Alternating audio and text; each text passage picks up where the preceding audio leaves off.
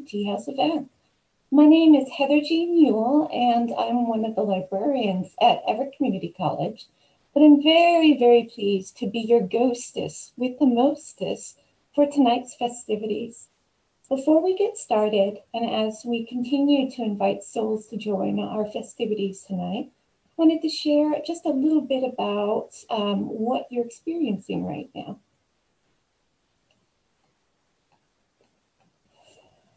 And of course, technical difficulties always.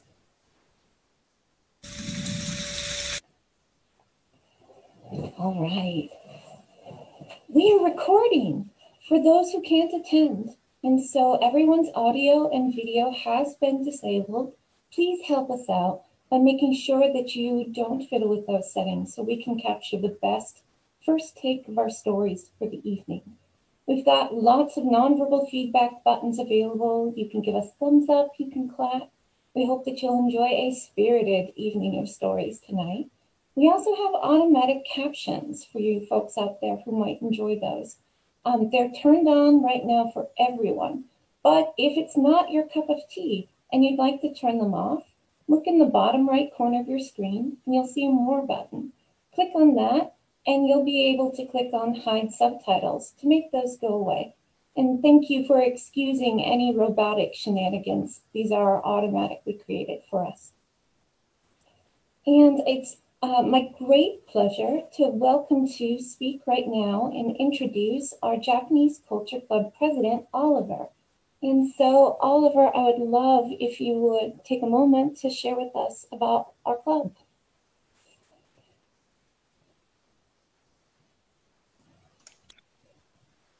Hello, hello. Can you see me? We can. Thank you, Oliver. Well, uh, hello to everybody who has joined us tonight. Uh, I'm Oliver, part-time mad scientist and president of the Japanese Culture Club.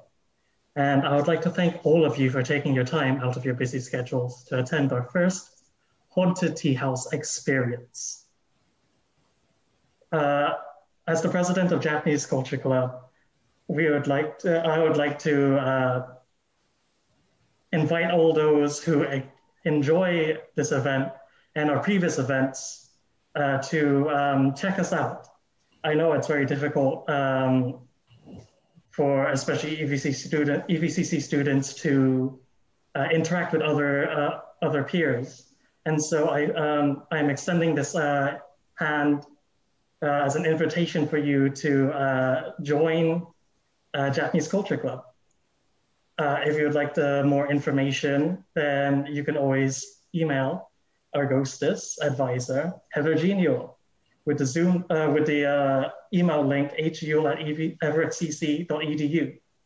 The purpose of Japanese Culture Club is to promote international goodwill by expand, uh, expanding community pers uh, perspective of Japanese culture, history, language, arts, uh, and arts through interactive events such as Haunted Tea House. And with more members, hopefully we could do more events for the community and have exciting storytelling or other uh, things with you guys. Thank you very much and enjoy the show. Thank you so much, Oliver. And so, um,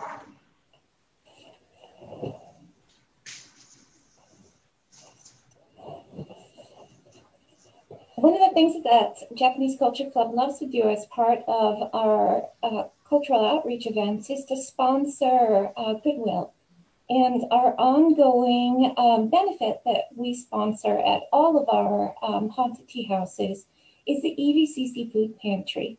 making sure that everyone has enough to eat is something that is very close to our hearts. And we hope that you will consider um, purchasing donations um, that can be sent through socially distanced means to support the uh, campus pantry, which is a student-led and free service available to EVCC students and employees who are experiencing food insecurity. We have some links on the screen that can help you follow up if you'd like to help. Um, you can purchase donations through Amazon at tinyurl.com slash EVCC pantry. You can also donate directly at the EVCC Foundation, which you can find on the college's website. And thank you very much to making uh, for making uh, a small chip in uh, the big block to ensure that we can all enjoy a good meal in these very difficult times. And uh, another thing that we always like to do with our haunted tea houses is um, make sure that we're building community. And consent to be scared is a big, important part of us setting up our events to make sure everybody has fun. Uh, tonight's going to be scary. There's going to be some um, some jarring moments, so um, be prepared for that. And we also want to make sure that everyone's comfortable.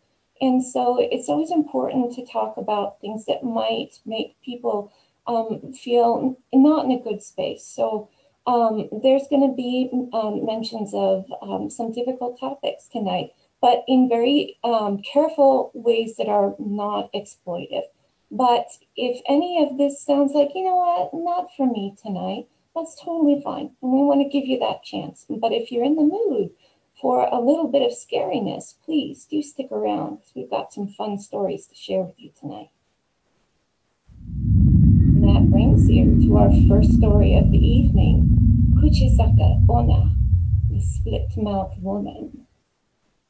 It's interesting how familiar surroundings can become so scary, particularly when not surrounded by those that make us feel comfortable. Kana was a very strange girl. Kana couldn't seem to make friends in the village that she had been born and raised her entire life. Kana kept to herself and didn't go out of the way to be noticed. Kana wasn't like the other girls with their cell phones and their Instagrams and always wanting to take pictures. Oh, look, look how pretty I am. Look how pretty I am. Unfortunately, the other girls were not nice to Kana because despite all of her efforts, they noticed her. The mean girls always picked on Kana, following her home as she walked alone to the empty apartment where she lived with her mother, who always worked long hours. Always, always the mean girls taunting Kana. Hey, Kana, smile, smile for us, Kana. Until Kana couldn't take it and she ran. And of course, the mean girls chased because easy prey is always a fun catch. Kana went down a long, winding path that she had always followed by herself, a small alley pressed between many buildings. Many times she had walked that alley, but today something was different.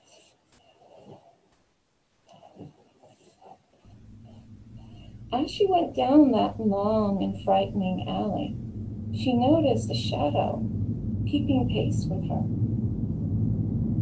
Something about it was strange, tall, spindly, like a woman with long black hair. Moving just as fast as she was, just behind her over her shoulder, even though that alley was barely wide enough for her to. She ducked into a side passage that only she knew about and watched as her classmates went by one by one calling and cackling and taunting. Kana, wait for us, Kana. And stopped. She heard the clattering of shoes come to her pause. And she heard a woman's voice. Am I pretty? She heard her classmates stop and cackle and laugh. Look at this old hag. No, of course you're not pretty. Look at your long, disheveled hair. Look at your filthy clothes. What are you doing here? No, get out of our way. Get out of our way. Am I pretty? They heard the woman ask again and with gasps and screams. Her friends went running, running, running down that path back the way they had come. Frightened of what had come to pass, Kana crept forward to peek out and find standing in the midst of the alley a woman, taller than she'd ever seen, long black hair, tangled and full of weeds. In her hand, a pair of scissors, like the old ones you see on teachers' desks, rusty and sharp nonetheless. Creeping out, Kana came up to this figure. Who are you, ma'am? What are you doing here? And the woman looked at her. She could see she was wearing a facial mask as if to hide her face. So the woman asked Kana, Am I pretty? Kana looked at the woman and said, I don't know. I can't see your face. The woman took off her mask and horrifically beneath, split from ear to ear, was a bloody smile. For the woman's mouth had been cut open from side to side. As that woman leaned forward closer to Kana and asked, And now? Kana shrugged. Eh, I've seen worse. And passed right on by. The evil and the horrors that live in our soul are sometimes far more frightening than a grin that begins from here and ends here. This is an interesting story because it gets told again and again in different ways. Kuchisake Onna, the split-mouthed woman, is actually quite young in the pantheon of the spooky stories that we get told, mostly coming out of Japan. And we'll talk more about those in a moment. What I like about the Kuchisake Onna is much like the memes that we have today, she changes, she morphs, she evolves. In some stories, instead of a pair of scissors, she has a sickle that she uses to split your mouth from ear to ear. In other stories, you have to say a magic chant, pomade, pomade, pomade, like hair gel can save you from ghosts and back alleys. But there was a real panic around Kuchisake Onna in the 1970s. People actually thought that she was real, and children were put on curfew. And one of the things that I love about yokai stories about ghosts, goblins, and ghouls from Japan is a quite long tradition, which you'll hear more about tonight. If you'd like to read more, we have a book in the library called Pandemonium and Parade by Michael Dylan Foster. And you can read how these ghosts and ghouls of old have evolved into the future to now. And we meet them on a daily basis in video games, in animated films, and comic books. But you never know when you'll run into Kuchisake Onna. She could be around the corner. But if she asks you, Am I pretty? Say neither yes nor no. Shrug and go, No, no. So so. All of these stories are part of Kaidan. Kaidan are spooky, strange tales. And there are many of them that have been gathered together into anthologies over time. And if you're interested in reading more right now, you can actually go to Project Gutenberg and you can read an anthology put together by Lafcadio Hearn, 19th century um, uh, uh, journalist who fell in love with Japan and collected them for us. And what's interesting about Kaidan is the Kai. And let's talk about that for a moment because I love the history of stories. And, but I promise you, I'll get back to those scary stories. That's one of the things about hanging out with a librarian. I'm always going to tell you interesting things. Etymology is the history of words. And so there you see Kaidan. The writing system that we're looking at right now is kanji. Kanji is one of the writing systems used in Japan. And it actually comes from China originally, the ideograms that you see here. And notice how I've got the red highlighted again and again. Well, yokai. Yokai are those ghost ghouls and goblins that you might be familiar with with Pokemon. So pocket monsters, those monsters are yokai. Ayakashi. Ayakashi is an ancient term, but it also has that character in there, but it's pronounced in a different way.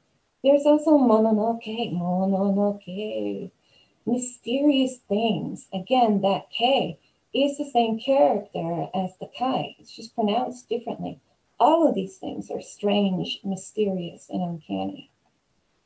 You might be familiar with Mononoke from Princess Mononoke, the animated film from Studio Ghibli.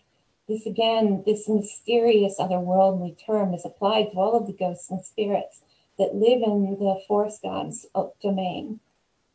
And it's interesting, this tradition is quite old, and the, the, the telling of spooky tales is something that touches on every culture throughout the globe. But how did we get Kaidan? How did we get here today to have, you know, Kuchisake and all of these ghosts and ghouls that live in our pockets? Well, um, way back during the Sengoku period, the Warring States period, they used to tell a hundred Buddhist stories to conjure a miracle in really deep and dark times. It was a way for communities to come together to spread hope and um, look to better times.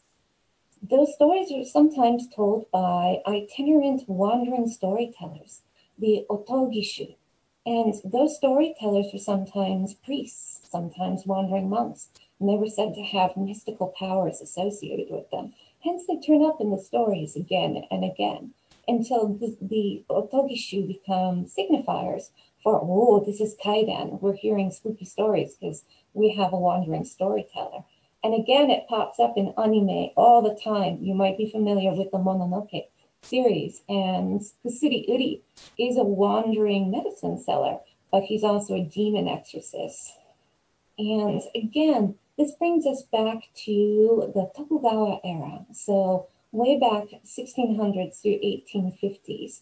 Um, this was a very prosperous time that came out of the Warring States period. So um, the government stabilized. Um, uh, there became a flourishing of the arts. And there were printing presses that made it possible for cheap literature to be created and purchased by an increasingly literate society. And what did people do? They got together and they told ghost stories because it's fun. And so that's what's happening here in this uh, Japanese woodblock print by Hokusai. And you might be familiar with Hokusai from the Great Wave of Kanagawa. And what happens is um, it generally in the summertime, when the telling of spooky tales is supposed to send a, a chill down your spine in the hot um, afternoon and evenings of the um, the hottest time of year, people would get together in tea houses or at friends' places or out in the middle of nowhere. And the way it goes is you would light a hundred candles and everyone would tell their spooky story. And one by one, the candles would be extinguished. And one by one, everyone would tell their tale. And by the end of this telling, it would be in the middle of the night and in the middle of the dark. And with the extinguishing of that last candle and the telling of that last tale, you were said to be conjuring something supernatural. And that, my friends, is Hyaku Monogatari Kaidan the telling of the hundred strange tales. And you can see in the print here that these fellows got more than they bargained for. They thought they were telling spooky tales, but they ended up summoning a bunch of yokai that are like, oh, keep telling stories, friends. We want to hear more about all of our fun exploits. Which brings us again to the next tales, the giant's hand long, long ago, as these stories always go, in the middle of nowhere, in the mountains, high and far away from the city, there was not much to do for fun. And all the young men of the village, thinking themselves brave young fellows, decided, let's go out to the abandoned mansion that's out at the edge of town. Let's tell tales, spooky, chilling tales, to prove our bravery so we spend the night out there, and then everyone in the village will know, oh, look at these brave young men. They went out into that haunted mansion and they stayed all night long. We can trust them. They know what they're doing. And so the young men went out and they went and dug around and found a room that wasn't completely in disrepair. And they found some mats that were good enough to keep them from the bugs and the rot. And they made a cozy little light for themselves out of an old lamp that had been knocked over. And they gathered, huddled together there, listening to the evening sounds and telling stories from far and wide, strange tales of all kinds of things that go bump in the night. And one by one, they told their stories until the last young man was left shivering with terror as his friends looked on. Go on, go on, they said, tell your last tale. Let us see if we can see a ghost. What fun, what fun. But no, that young man was terrified. He's like, no, no, we mustn't, we mustn't. So scared was he, he ran off and went home. And all of his friends laughed at him as he went. And they said, Ah, we are brave young men. We will stay here. Tomorrow we will make fun of our friend who is not brave enough to stay with us. And so off they drifted, slowly as they listened to the evening sounds the crickets, the, air, the wind, oh, until it stopped. Not quite sure if they were awake or asleep, lying on the mats on the floor, looking up overhead into the dark, they saw a monstrous hand peel from the shadows there, hovering over them, so huge, so monstrous, it seemed to fill the very room and exceed it until it could have crushed the very sky. With a shriek of terror, one of the young men leapt to his feet and struck out with his sword, striking that, that mighty hand about to fall. And then, such a strange thing, it vanished. And then there was a boop, boop, boop. Little thing fell from above and landed beside him. The tiniest little spider, no bigger than your thumb, had been dangling high above from the ceiling had dropped down in front of that old lamp and cast such shadow upon the wall, making them think that that little tiny spider was a monstrous giant hand. And they felt so foolish, they did. How terrified they were of such a simple thing. And feeling terrible, they didn't give their friend any trouble the next day because who knows when a spider the size of your thumb could be as big as a giant's hand. What's fun about the kaidan is they're full of transformations. They don't always have to be spooky in terms of ghosts and, and haunting, chilling things. They can be funny. They can just be weird. And that's the fun about kaidan is they're just as diverse as all of us. And that brings us to another of our ghoulish bumps in the night, bakemono, the trickster changing things. And you're quite familiar with these, I'm sure. You've seen them in all kinds of animated films, video games, maybe comic books and whatnot. It's said that these trickster animals can transform into all kinds of things. We have lovely raccoon here, Tanuki, the raccoon dog, very indigenous to the area of Japan.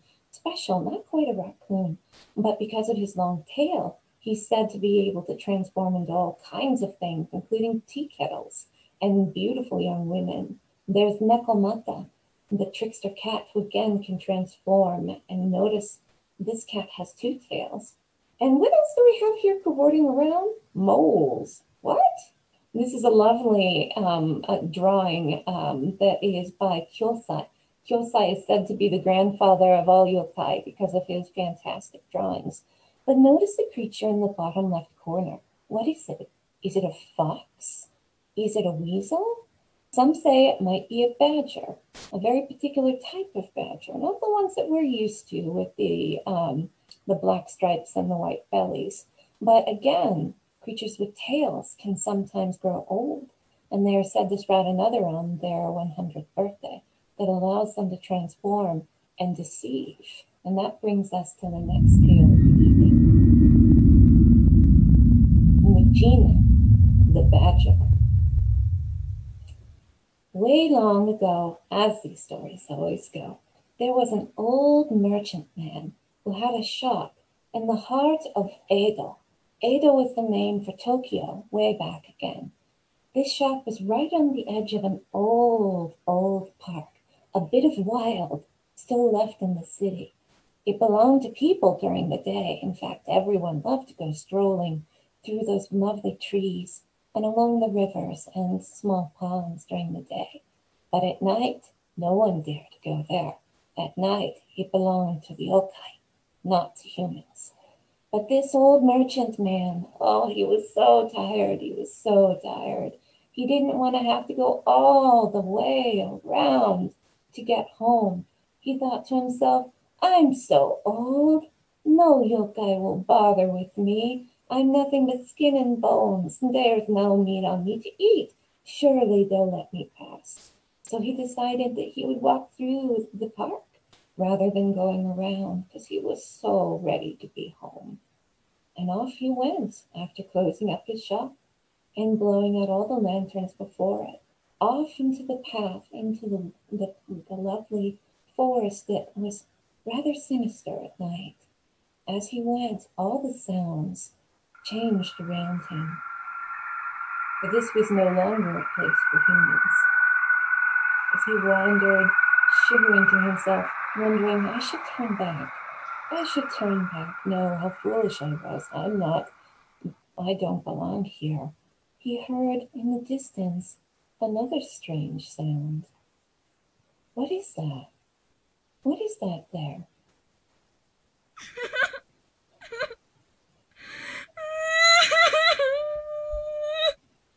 that a woman?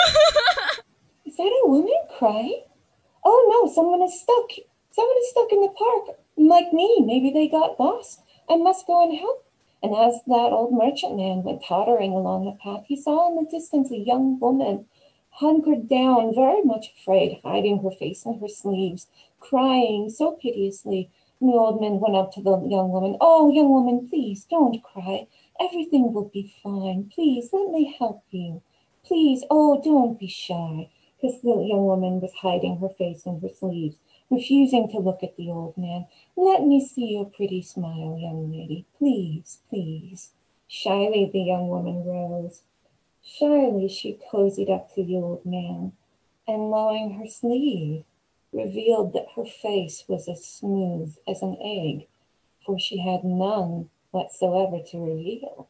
Horrified, the old merchant ran, stumbling backwards, tripping through the mud, and stumbling through the bushes back out of that park, and took the long way, all the way around. Back home he went, clattering into the back kitchen where his wife was waiting for him there. Oh, wife, wife, you will never believe, you will never believe what I came upon tonight. And his wife kept her back to him, like, really, do tell, do tell what you saw. And he said, wife, I was in the park.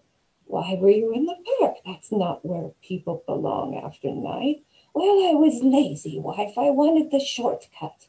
You should never take the shortcut, darling. Wife, when I'm talking to you, look at me. Look what has happened to me. And then it slowly but surely, the wife stood up and turned to see her husband.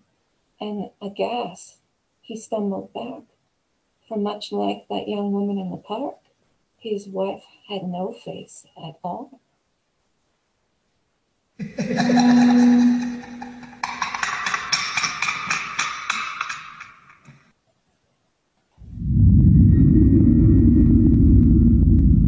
Continuing the path alongside our tricksters, the next story comes to us from EVCC alumni and Japanese club uh, member Rochelle, who is going to tell us the tale of the spider pool.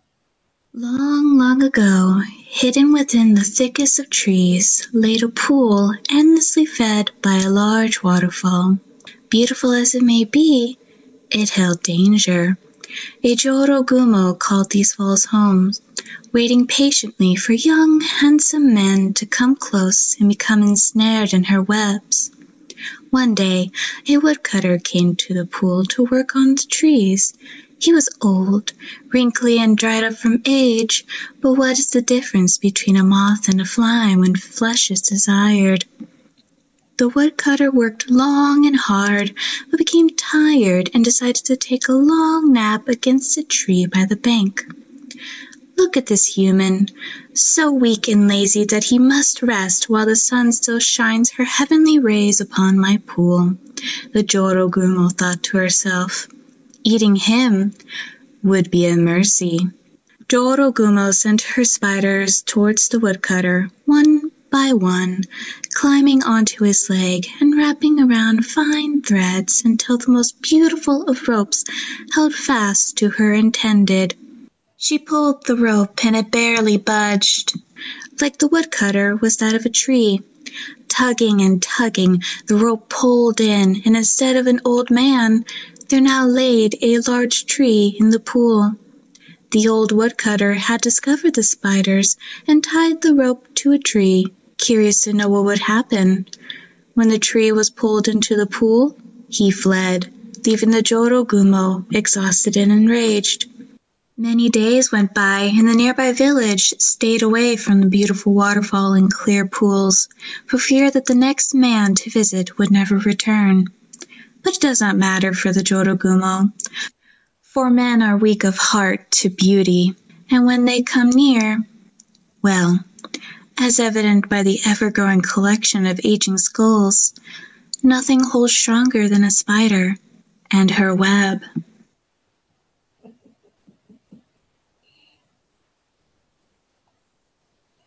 In addition to our trickster creatures, we also have the Tsukumogami.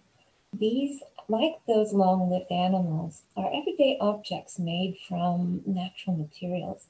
It is said that once they reach a certain age, they come alive and take on a spirit of their own. Hence, we have to be careful with the heirlooms that have been gifted us and ensure that we don't give away things that have, um, let's see, opinions about their care for they can come back and haunt us in ways that we might never anticipate. And so um, that brings us to my next story The Haunted Kimono. Back in old Edo, a merchant man had only a daughter left to him. His wife had passed long ago due to illness, his brother's the same. All he had was his young daughter, whom he doted over. But sadly, she was sickly, and I worried she was not long for this world. She would sit up on the top of their second floor at the balcony, looking out over the street, humming to herself happily as she thought upon better days. To cheer his daughter up, he thought, oh, why not commission a beautiful kimono for her, a wedding kimono? That she can look upon as it hangs on the wall and think of the bright future ahead of her. Oh, how brightly his daughter smiled as she looked at this gorgeous kimono fashioned just for her. Humming happily, she looked at the beautiful long white sleeves, embroidered with gold and with beautiful red peonies upon them, and blushed pink like the sunset outside, thinking of fond and future times. Unfortunately, those times were never to come as she grew sicklier and sicklier until one summer's afternoon she was no more. Oh, that merchant man was so sad, so very, very sad. But he could not bear to part with that kimono that reminded him so of his young daughter. And so he left it hanging on the wall there, looking at it often, too often. In the middle of summer, not long after she had passed, he heard a strange noise at sunset, the twilight hour, the Oni hour, when the worlds are at their thinnest, and strange things are said to happen. What is that sound? That I hear so familiar to me. My daughter?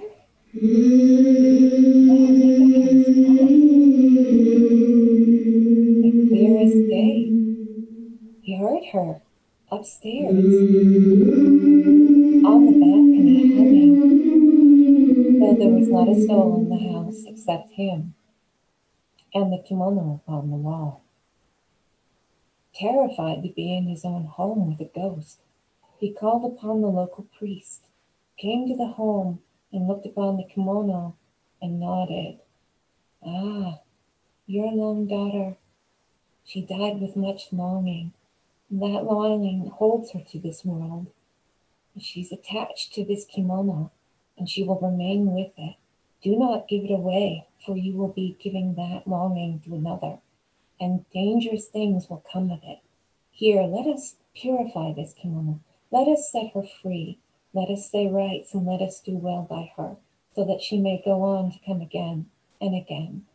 And they burned that kimono then and set the ashes to rest. No more did the merchant hear his daughter humming in the evening longingly, as if waiting for better times that would not come.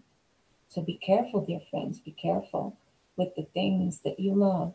Make sure they're not cast aside heedlessly, for you never know whom may be visited next by the longing and the emotion attached to, such things.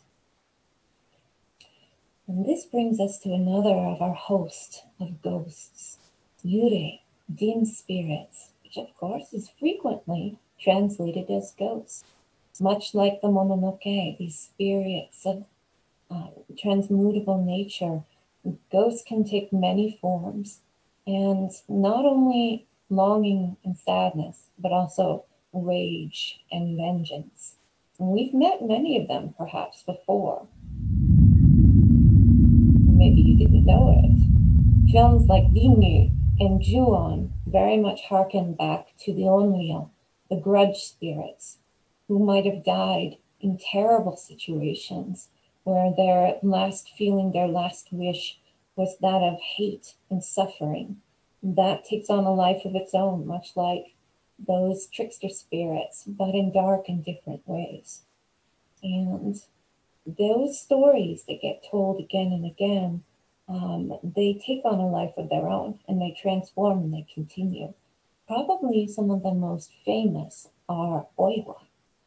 Oiwa, unfortunately, um, came into a bad marriage, and her husband ended up doing away with her to steal her money and her position.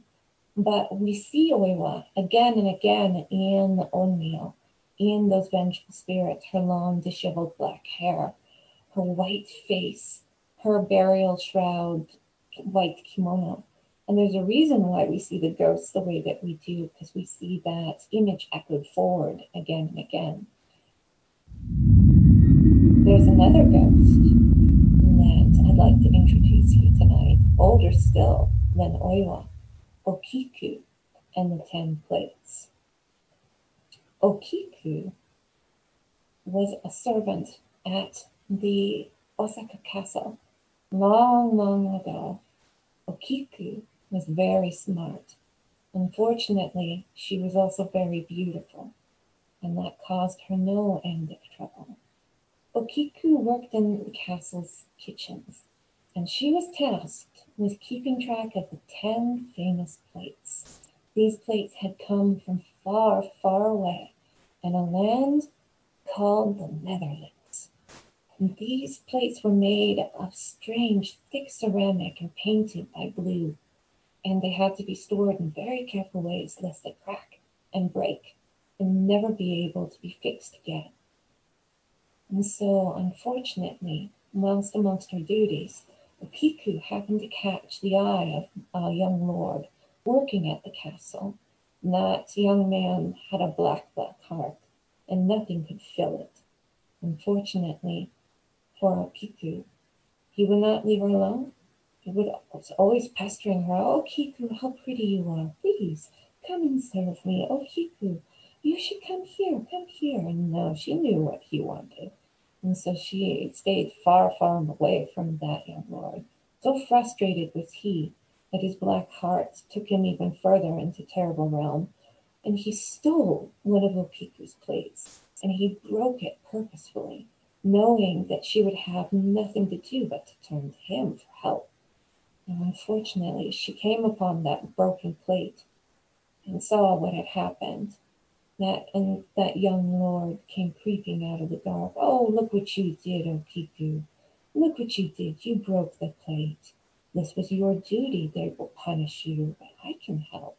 I can help. If you are good to me, I will be good to you and Okiku spurned that young lord and said, No, no, this is my duty. This is my plate. I will stand before. I will own what is due. Unfortunately, the next day, it was discovered that the plate was broken, but none could find Okiku. Some whispered, Oh, she must have run off. Oh, you know, she must have run off. And the young lord was very puzzled, like, where, where, well, she didn't run off with me. Who did she run off with? Until, unfortunately, they found in the well behind the castle um, something that did not belong. For Okiku had taken matters into her own hands in the only way that she could. And much sadness came upon the castle because Okiku was a good girl, a bright soul, and they were sad to see her meet such a terrible end. How sad, how sad, they whispered. And the young lord went, Huh, well, more pretty girls elsewhere. Yeah. Not too many nights after that, the young lord was sleeping restlessly. He couldn't quite get comfortable. It's a little too cold, a little too hot, something not quite right. The rest of the castle was slumbering quite well, but not him. And in the middle of the night, he heard a strange, strange sound.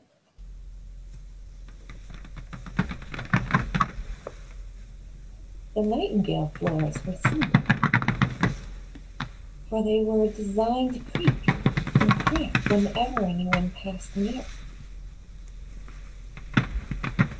Closer and closer those creaks came, and with them a voice. Was that Okiku?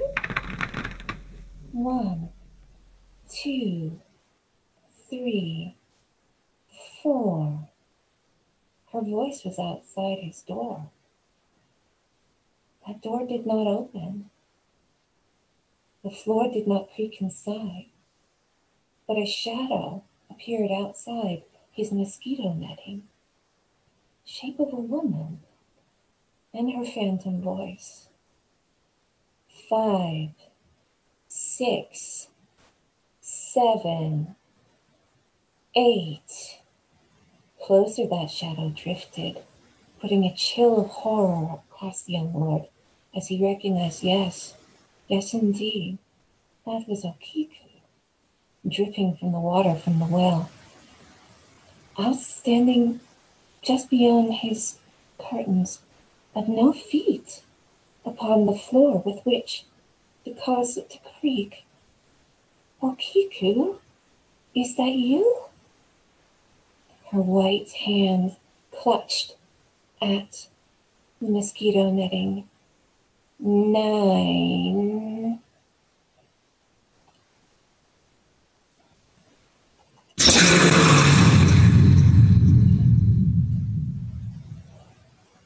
Nine plates upon the wall the next morning, tenth forever gone, much like Okiku, much like the young lord. Unfortunately, they never found him, but there were whisperings, whisperings the next morning, for they found upon the floor, staining the way all the way from the well up to the Lord's door, wet footprints, so soaked into the floor that it took years for them to be scrubbed out. And that, dear friends, brings us to the end of our first half of the program. Let's take a 10 minute break. Go and get yourself another cup of tea and then come back and settle back in. All right, friends, are you ready for some more stories? Before we get back into the program, one more shameless librarian plug. If you're interested in reading more about Yurei and the tradition of ghosts specifically in Japan, the library has a fantastic book called Yurei, the Japanese Ghost, written by a local scholar named Zack Davisson. And we have two copies of it because I bought two copies. And you can use our new curbside delivery service to request a copy uh, through social distance measures. And then you can read more about all kinds of folklore foundations for the, the ghosts with the most. And so here we go for the rest of our program. And a tale of a ghost of a different type. It's interesting how many spooky stories end up with woodcutters involved. Something about folks going out into the forest, right? Well, the forest is said to belong to the gods. And that's a special relationship that needs to be honored. Hence, the young apprentice of the old woodcutter was very much respectful in his duties as he's followed along from the small village at the outskirts of the deep forest. All times of years they went in summer, in the fall, and even in the winter. For those were the times that they could always count upon the best prices as people's stores began to grow thin. So off they went, even though snow was definitely showing upon the mountains. Off they went into the deep woods to get their wares to sell in town.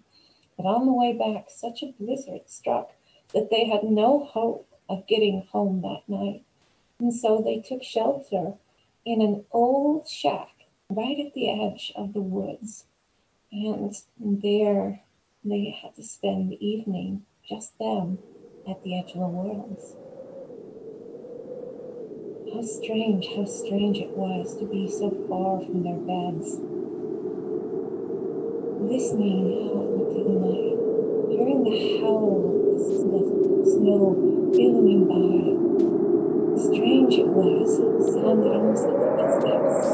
Snow clumps would fall from the roof. It almost like someone was making ready to come into the hut when the front flap rattled open and shut as the wind whistled by, shivering in his coat.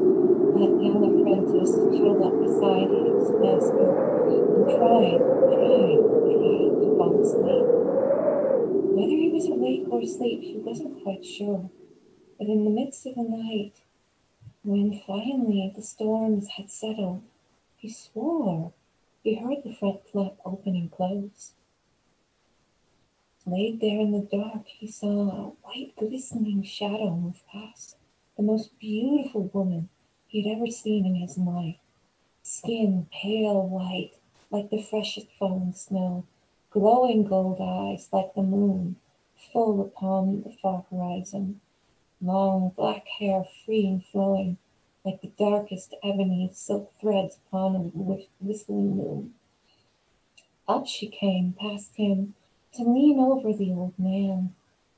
And as she did, her breath blew like a crystalline plume, freezing the very air, freezing everything all around them. Terrified, the young man hugged even further and refused to look as she turned from the old man's look at him. And he thought he heard her chuckle and say, You, pretty boy, you, oh handsome man, you I will not live. Off this nightmare glided into the snow. Thinking it nothing more than a dream, the young man went back to sleep. In the morning, as the birds chirped and the sun finally warmed the chill, he returned to his master to tell him what a strange dream he had had until he discovered his master was frozen solid for it was not a dream, or was it? He could not tell. But he swore, he swore, as that ghostly shadow left, it make him a promise. Tell no one of me, young man, and you, you live. Many years passed, and that young woodcutter grew older until he took over the business for himself. Off into the woods he went by himself. It did not bother him. He was at home amongst the strange there. Until on one of his trips back, he came across a young woman along the road. Long black hair she had, like the, the softest, glossiest silk upon the loom. White skin, like fresh fallen snow. Bright eyes, bright as the moon. As he came alongside her, she smiled and he smiled, as young folk often do. And he asked, Young woman, young woman, where are you going? I am going to the village. I am looking for work there. I was like, oh, oh, well, let me let me walk with you. I know a way. Can I carry your bag for you? Oh no, young man, that's very kind. Oh, I am always happy to help. He was a good soul, in fact.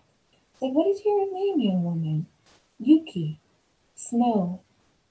And as young people do, they got to talking until they felt quite pleased with themselves by the time that they got to the village.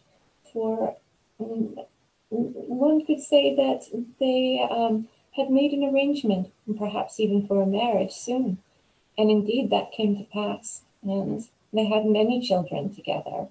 Much like their mother, they were strong, unusually strong, and not bothered at all by the winter cold, with beautiful, beautiful white skin, black, glossy hair. And they were happy together, happy indeed. And as the years went by and the children grew bigger, he, the young woodcutter was no longer so young. Sitting by the fire in the midst of winter, he heard the howling wind outside and thought back into that dreamy place he had once been. Wife, wife, have you ever heard the snow speak? And she paused in the midst of her work, and she turned an ear to her husband, and she said to him, What do you mean? And the young woodcutter told her the story of long ago when he was in the midst of winter and saw that frightful dream. Was it a dream? Was it real? So startled was he as his wife flew to her feet and tossed down the work that she was doing, glaring at him, standing over him, towering up into that nightmarish figure he had seen before. You, she said, you, as her breath blew in that crystalline plume, to freeze the very air and freeze the very home that they had made for themselves. I made a promise to you, young man, said nothing of me were you to do, and now you have broken that promise. You have broken that promise, and I cannot stay. Not for the children in the next room, I would freeze you solid. And with that screech from her lips, she turned into a howling gale that extinguished all fire and warmth from the house, went screaming out through the chimney. That was the bitterest winter that the village ever knew. And they swore, they swore they heard a woman screeching in the wind, dropping her footfalls throughout the snow along the edges of the warmth that she could never have, rattling the doors to their homes, trying to find a way back into what she had lost at the hearth with that young man in the home that she would never have once more. And so be careful, dear friends, be careful what you invite in, you never know what is made out of snow.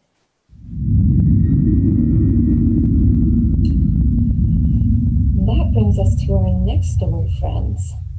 For be careful, be careful. Things are not always what they seem, particularly when it comes to the story about the lady who ate a baby.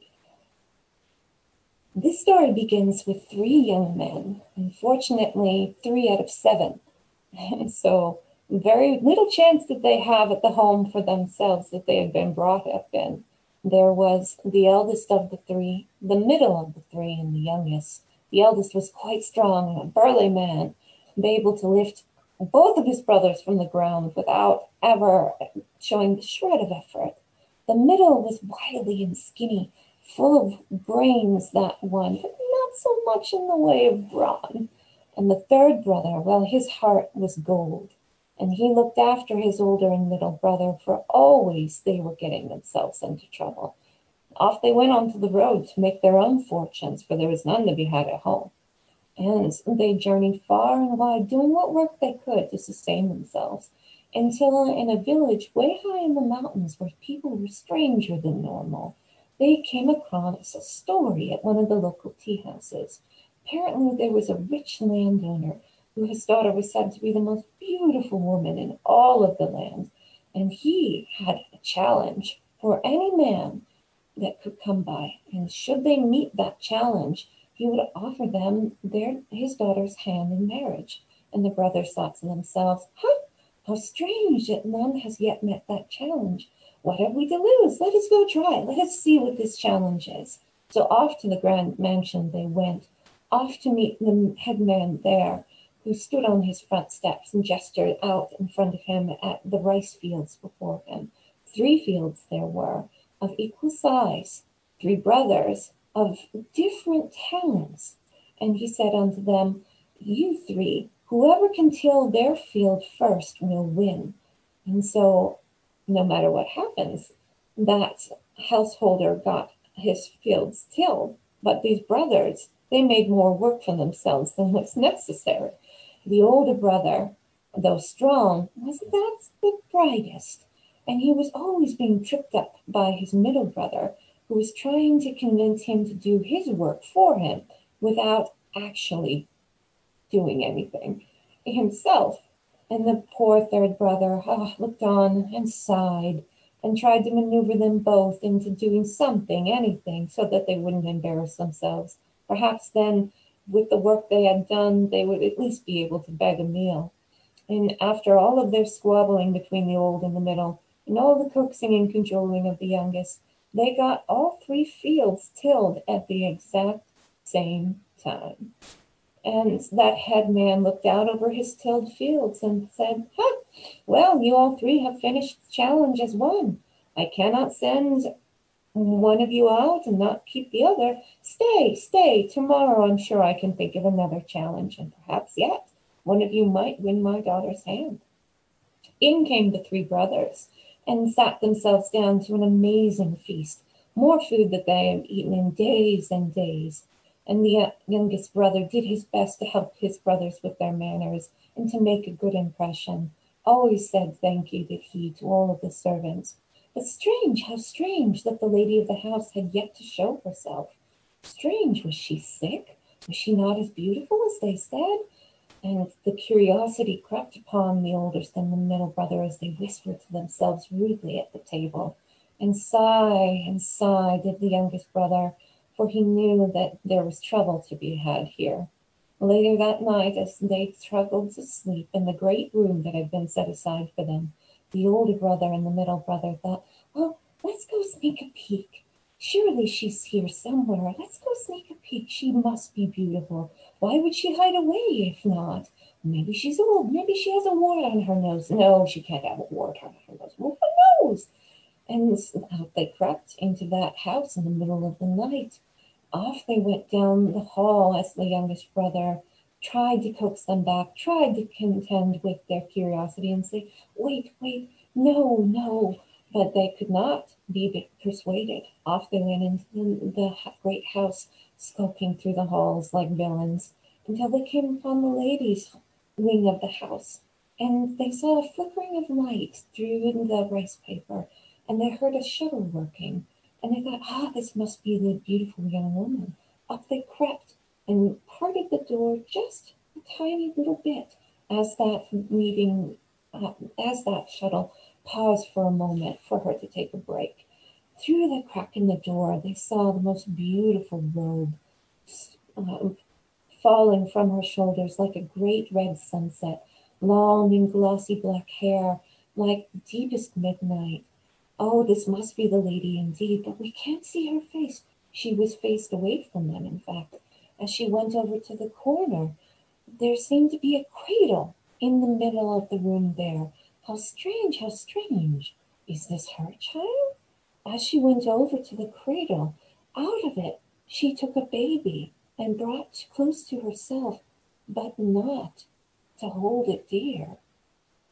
Such hideous sounds came filtering from afar as that woman tore into that baby as if it was a beast, ripping and tearing and gnashing and eating a baby Horrified, the brothers ran off out of the house, out of the grand estate, out of the village, off into the night. And not even they left their youngest brother. How terrible, how terrible. And so eventually, as time went on, the youngest brother thought to himself, oh dear, my brothers are not back. Something has happened. Something has gone awry. I must go apologize. Off he went into that long dark hall, trying to find his brothers. But in the distance he saw the same thing they had, light beyond the paper. As he crept up, he saw the crack in the door left behind. Oh, surely his brothers had been here. Surely they had taken a peek. But as he went to close the, that crack in the door, he caught a glimpse of movement through and saw the lady there again, going to eat something strange. And wait, is that mochi? Oh, mochi and sweet red bean paste, because he was very interested in food. And he realized, oh, that's not a baby. This is a trick. And as that beautiful woman brought an arm to her mouth and turned to bare her teeth, she offered to him one some. He parted the doors and reached and said, Yes, yes, I'll have some. And as she turned around, the hideous visage of horns and grinning teeth revealed itself to be a mask. And indeed, the feast of flesh turned out to be nothing more than sweet red bean paste and um, mochi. And as the lady of the house took off her mask to reveal she was indeed beautiful, but better than that, she was smart. She said to the youngest brother, You, you are brave. But not only that, you are kind. I saw the way you treated the servants. I saw the way you tried to coax your brothers to be better. You, you have a good heart, and that is worth more to me than anything. Stay, stay a while, and continue to prove your good heart to me. And the youngest brother did. And eventually they were wed. And eventually, the youngest brother coaxed back his older brothers and taught them how to be better, much as he did for all who came under his care, as well as the lady who ate her baby.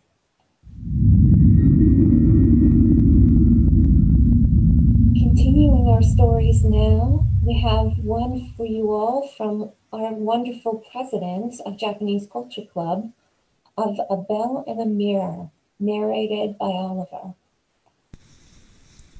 Let me tell you all a story of a mirror and a bell. Centuries ago, in the present day Shizuoka Prefecture, the priests of Mugen Yama wanted a big bell for their temple. They asked the women of their parish to help by contributing their old bronze mirrors to forge into the bell. Among these women lived a farmer's wife who presented her mirror to the temple. However, she very much regretted giving up her mirror, as it held precious memories of not only her, but of her mother, her mother's mother, and even her great grandmother. Of course, she could have asked for her heirloom back from the priests in exchange for a small fortune, but as a mere farmer's wife, she did not have such money.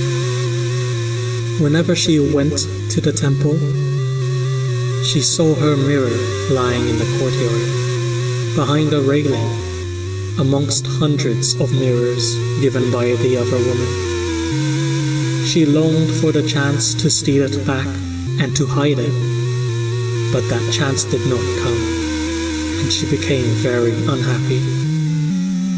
She felt like she had foolishly given away a part of her life, and remembered the old saying, a mirror is the soul of a woman. Even with this, she could not bring herself to speak her pain to anybody. The time came when all the mirrors for the bell were sent to the foundry for melting. But when the mirrors were put into the forge, there was one that would not melt. Again and again they tried to melt it but it never warped nor cracked under the heat of the furnace's fire. The woman who had given that mirror to the temple must have regretted giving it up. She had not presented her offering with all her heart, and so her selfish soul remained attached to her mirror keeping it hard and cold within the flames. Of course, the word spread of this unmelting mirror, and the farmer's wife would eventually be exposed publicly for this. She soon became ashamed and angry, to the point where it was all unbearable. She drowned herself, leaving a final farewell letter, reading When I am dead, it will not be difficult to melt the mirror and cast the bell.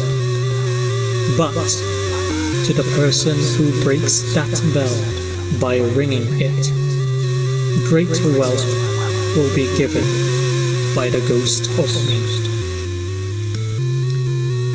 It was known that the last wish or promise of anybody who dies in anger generally possesses a supernatural force.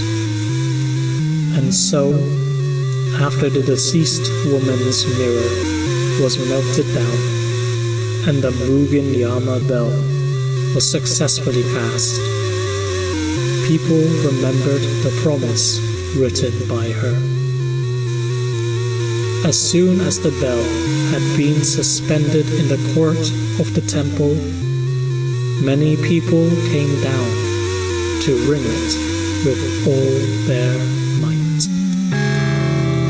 They swung the ringing beam over and over, but the bell proved to be a good bell and withstood their assaults. Nevertheless, the people kept swinging and ringing and swinging and ringing day after day even against the protests of the priests in the temple. The priests could not endure the constant chiming of the bell, and so they got rid of the bell, moving it from the temple courtyard to the top of the hill where a swamp laid at the base. The bell was rolled down into the deep swamp, which swallowed it up, being the last of the Mugen Yama bell. Only its legend remains, and in that legend it is called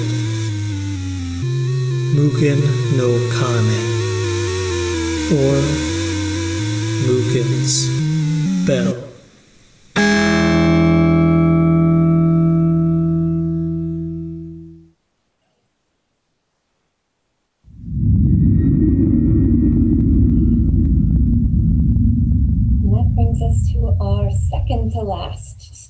the evening, which again echoes the dying wish promise. This is another of Lafcadio Hearn's most famous stories, uh, and it's called Diplomacy. Sometimes there is no justice in justice. The unfortunate thing with a crime is that it must be accompanied by a punishment. And so the prisoner was brought before the lord of the region, and all knew that this man was innocent.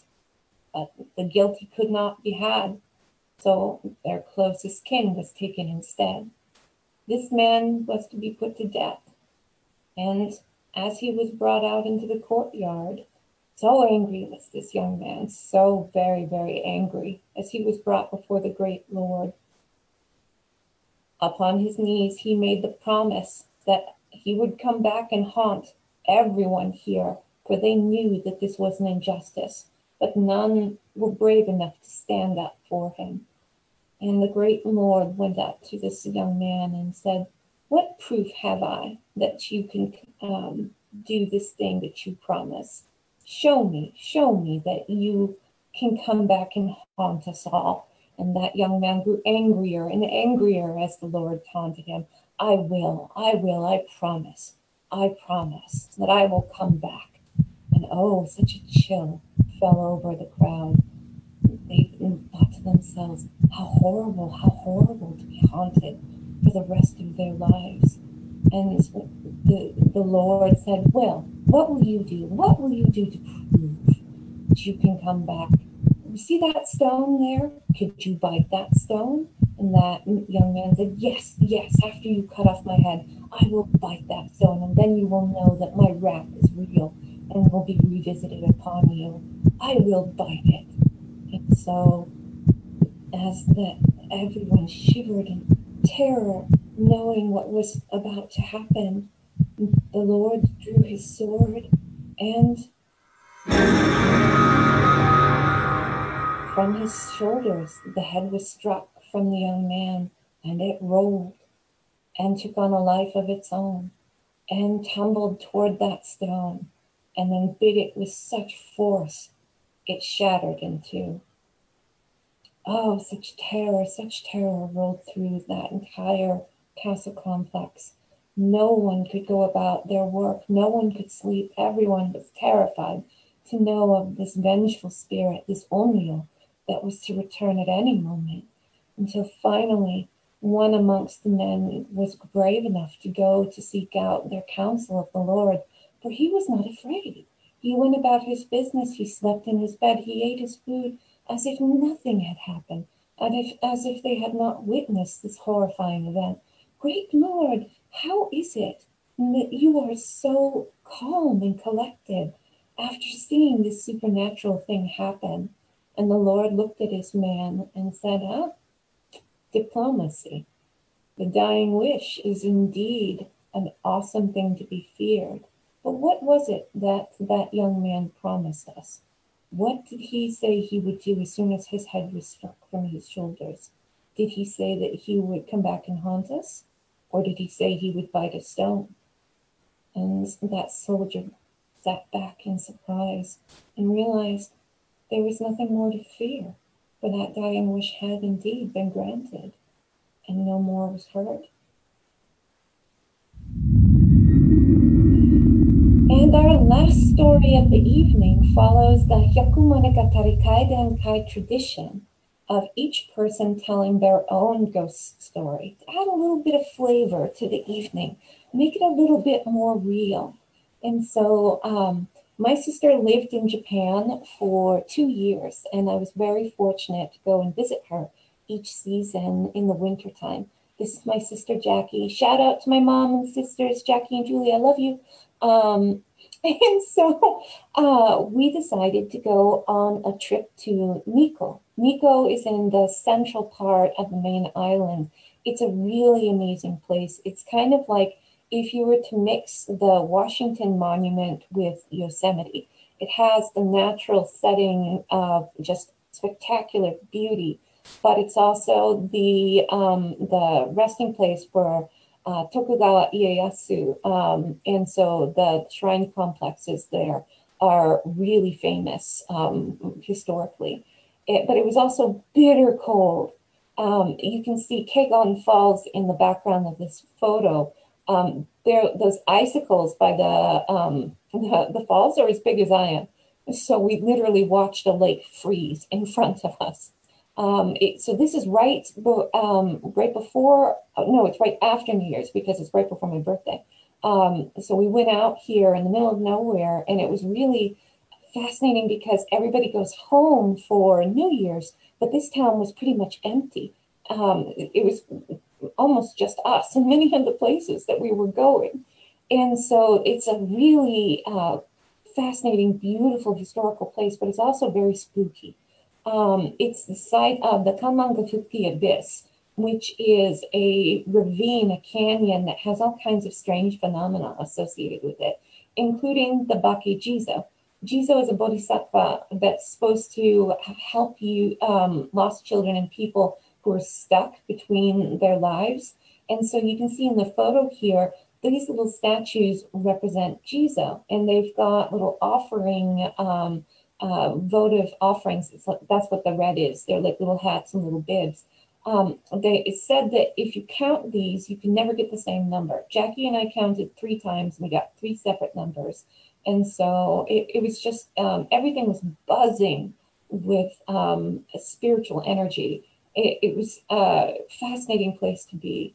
And so um, uh, we went out um, for um, a bunch of walks and we discovered that there were graveyards all over the place.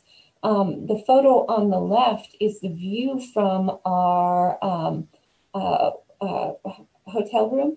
Right across the river was a cemetery complex because this is a very sacred site.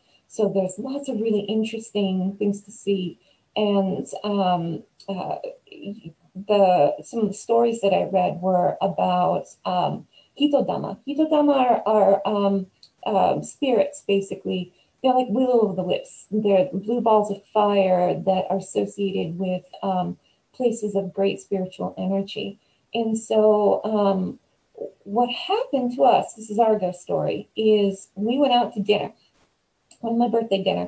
We went and had the most fabulous meal um, that I've had in a, a really long time. We went to a Chinese food restaurant and it was so good and everyone was so kind and sweet. We just had a lovely time and we decided as we got done with the restaurant that we would walk home a different way. So instead of going the way we came, we continued down the street and decided we were going to take um, uh, a right and just see what happened and see where we ended up. Well, um, this is where we ended up. So um, you can see in the top right corner of the screenshot, there is a light on a post. Well, guess what, friends? When we were there, there was no light on a post. So we come around the corner here and um, we notice that it just gets pitch black. And on one side is a shrine complex. And we know that it is a shrine complex because of the stone guardians. And you can see the roof line and all of that. But as we went down the street, it got pitch black. And we, walked through a wall of electricity, and it literally kind of like tangled up my legs, and I looked over into the shrine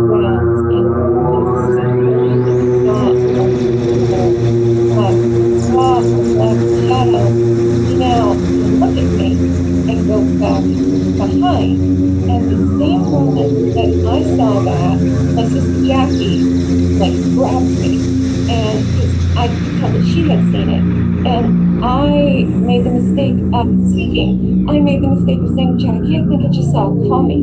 And the moment that I said that, they all leaned out and looked at us. And rose. And I could tell that Jackie had felt something I felt. And she was literally thinking that I'm thinking for. That is when we defaulted to politeness. And we literally just turned sideways and just went, sumimasen, sumimasen, sumimasen. And we, we sumimasen our way down the, the road in abject terror, just like, we're so sorry, we're so sorry, we are so sorry, we're so sorry. And um, one of the little ones, because there were big ones and there were little ones, one of the little ones literally just appeared right at the corner looking at us like, why are you here? What do you do? Go home. Go home. And then it teleported from that corner to that corner. And it, it, Jackie screamed and threw herself at me because we literally saw it was there and then it was there. And we ran. And you should know something about me, friends. I don't run. Neither one of us run, but we ran a five minute mile.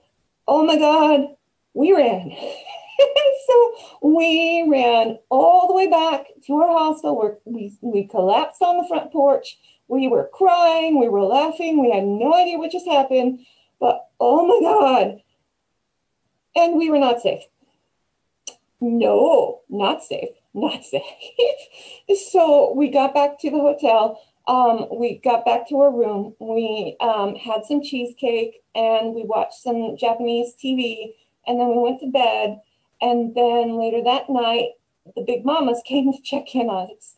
So, you know, in um, uh, the silly ghost stories, you pull the blanket over your head and you can't have any part of your body exit the blanket, otherwise you'll be eaten. Yes, so Jackie and I both hid underneath our quilts. If I could have crawled underneath my futon, I would have.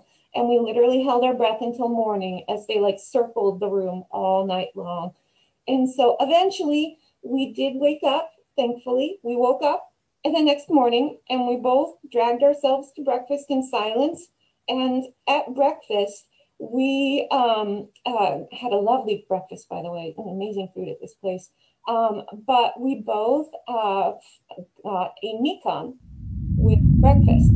And we both looked at the mikan and we looked at each other because mikan are traditionally given as offerings um, at um, temples and shrines. And we both reached and took our mikan and set it off to the side and kind of went to one another like, yes, we, we have an agreed upon plan. And so um, after breakfast, we took our mikan back to the shrine. In the day, we went up to the shrine and we did, you know, our ablutions and we went up and we made our mikan offering. And we were like, we so lovely to meet you last night. Thank you so much for humoring us. Thank you so much for coming to check on us. We're here to do research. We we're so grateful for the opportunity. Thank you, thank you. Not a problem after that. No problems whatsoever. So the moral of the story is be polite and bring mikan.